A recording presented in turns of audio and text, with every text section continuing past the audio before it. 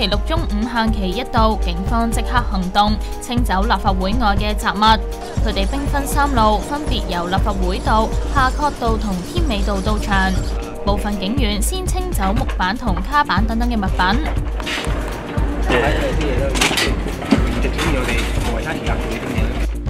除咗木板之外，警員又檢走多件物品，包括餐刀、鋸片。以及一啲鋁條同鐵枝等等。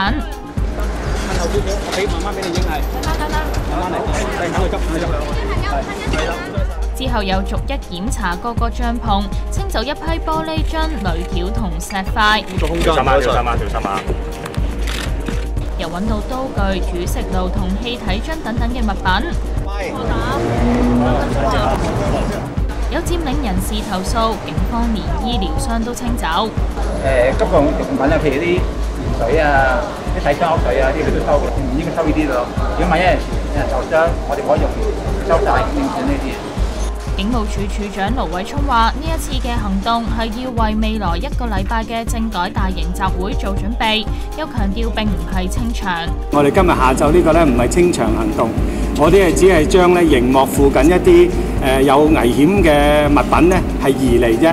咁誒唔會話係誒誒唔會話叫嗰啲帳幕搬走啊，或者叫嗰啲人誒、移誒、移走嘅。咁我亦都要呼籲啲市民呢，當移走咗呢啲危險品之後呢，就唔好再拎翻翻去啦。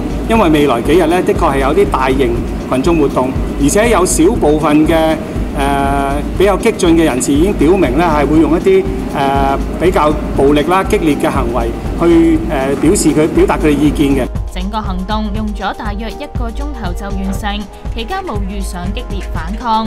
警方話被檢走嘅物品會當做係拾獲財物咁處理，物主可以去中區警署認領。ONTV 今網電視新聞台報導。